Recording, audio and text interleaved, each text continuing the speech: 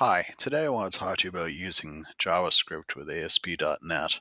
Now, if you're an ASP.NET programmer, you might be asking yourself, why do I still need to use JavaScript? ASP.NET is so powerful. JavaScript is still one of the foundation skills that you need to have if you want to do any serious web development. It's everywhere on the web. You're going to be seeing it all the time. You need to be able to understand it. And JavaScript operates completely within the browser at the local level on the front end.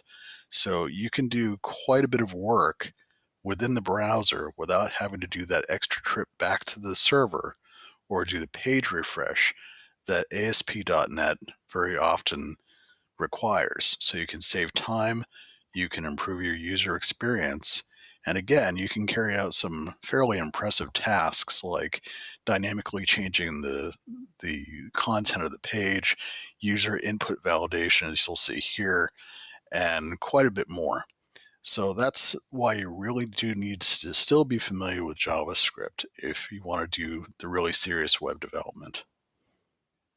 So let's take a look at this mockup that I have here of a new user registration page you have your typical fields, the username, password, password confirmation, and a submit button.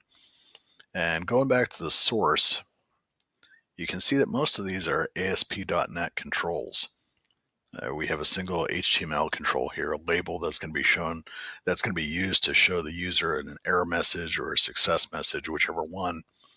You have the ASP.NET controls here. Many of the attributes are similar to HTML controls. You got the standard ID, you have the run at server instruction that's used to instruct ASP.NET to run the control on the server and access .NET code. That's fairly important.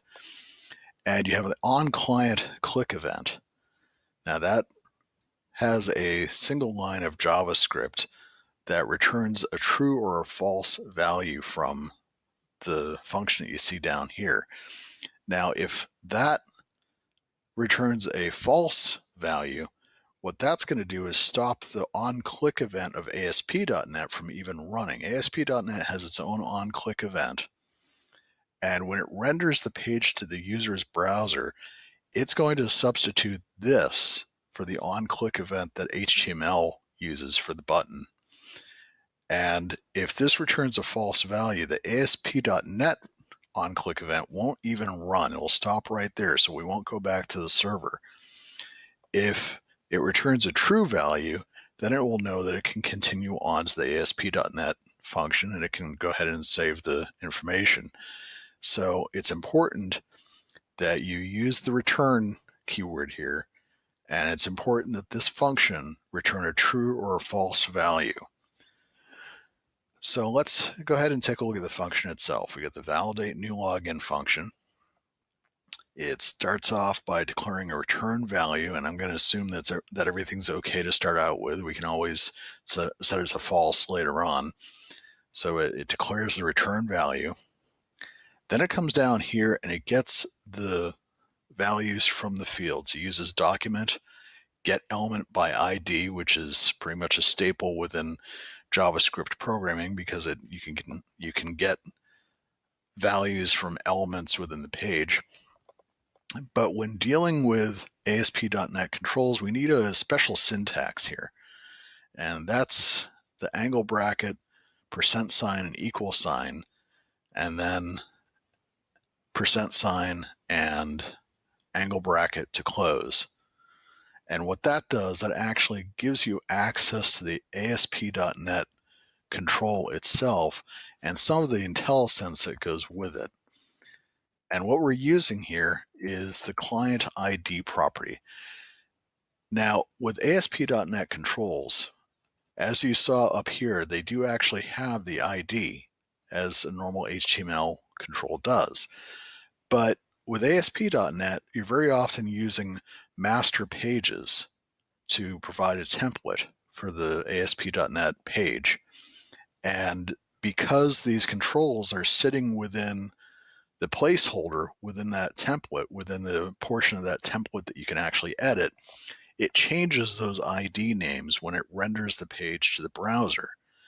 So you actually have to use that client ID in order to find out what ID is going to be given to that to that control so that you, the JavaScript can reference it. So what this is doing, it's getting the value from the fields, assigning it to the uh, variable, coming down here and running the tests. So we can check to see if the confirmation matches the original password. We can assign that Boolean condition to the return value.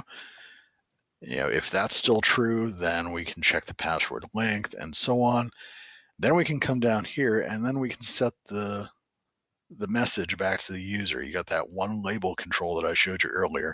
You set the inner text to either saving if everything's true or to an error message if any of the tests failed. And then it returns that value that it set up. It, it returns that variable back to the on client click event. And if that's, again, if that's false, that's going to stop the ASP.NET event from even running. So that's basically how the JavaScript works in there. Now with a JavaScript event, you've got the script block here and you want to make sure that the the script block is within the content block for ASP because otherwise it won't be able to access the fields within the ASP.NET page. So, but that's one thing. And again, you need to use these tags in order to access the controls and make sure you get the proper ID for the control so JavaScript can reference it. And you'll see that in a second. Now, another thing you could do, instead of using the client ID, you could use another property within the ASP.NET controls, which is called client ID mode. You can say client ID mode equals, and it gives you a few choices here. And one of them is static. And what that will actually do is to maintain the IDs that you assign to the controls. So you, you'll know what they are. And then you could come down here. In the case of this one is text password confirm. You could get rid of these and just say text password confirm. Now that works a lot of the time with some advanced JavaScript functions. It might not work. So sometimes client ID is preferable.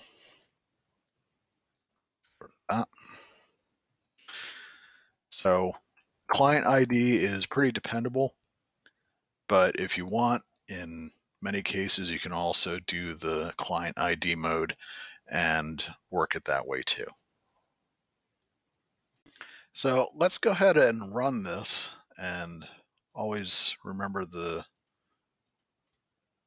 single quotes there so that it's going to get those IDs correctly. Let's go ahead and run this, see how it works.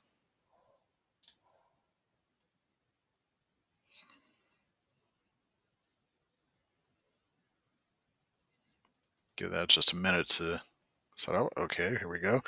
Let's go ahead and take a look at the source code first. And as you can see, the HTML source code is pretty similar to what you saw in Visual Studio, but you can see that it's actually replaced the IDs there. It's put the name of the content placeholder there in front of the ID that I assigned, but that's okay because it did the same thing in the JavaScript. The client ID property of the control gave us the same ID that it placed within the control itself. So that's that's going to work. That reference is still good. And let's go ahead and close that.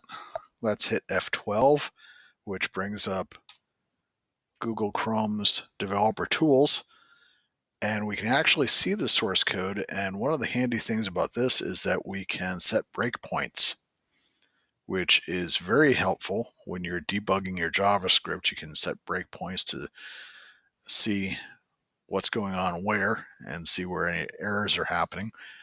Let's go ahead and try some sample values. Test, test. This should fail because the password is only four characters in length, even though they match. So let's create account. It's stopped at the breakpoint. It's gotten those values. It will do the test. Okay, so the first test passes, they match. False. So that fails. And let's go ahead and resume. And there we get our error message back to the user saying, sorry, you need to enter at least eight characters of the password. So that works well. Now let's try doing one that we we know is going to work. Let's get rid of this breakpoint. Close developer tools, create account, and it goes right through. So that passed and it went through to the .NET code as it was supposed to. And I don't actually want that to run, so I set the breakpoint in .NET, and that's fine. So just from this example, you can see some of the tasks that can be performed with JavaScript. And it's not just about user validation. JavaScript can handle anything that does not need interaction with the server. Of, co of course, using Node.js, you know, that's changing somewhat. You can use it in other environments, but within HTML, JavaScript can do quite a bit on the front end very quickly. And if you're a C sharp programmer like me, then you'll notice that the syntax is very similar. It's almost identical in many cases. So once you know C sharp or JavaScript, learning the other is that much easier. So there's there's less of a reason not to learn it you really have no reason not to. Now, another aspect of learning to work with JavaScript is getting to know the new HTML5 controls. HTML5 has introduced a number of new types of controls. You have date time, specific date time controls, email, image. Well, you always had the image control, I believe You have specific number controls that will only allow numbers, which can be very handy for eliminating user errors. And you have a number of other types of controls that you can use within HTML5. Now, if your browser doesn't support these specific controls very often, it will just render them as a text box. But if it does, and most browsers do now, they come in very handy and you can do some really great stuff. You can produce some sophisticated applications right there in the browser with just HTML, CSS, and JavaScript. And you can reserve a uh, you can reserve ASP.NET for where it's really needed for those trips back to the server. Thanks for watching. I hope you found this video informative. If you'd like to read the full article, you can find that on comeausoftware.com. And be sure to check back here for future videos. Have a great day.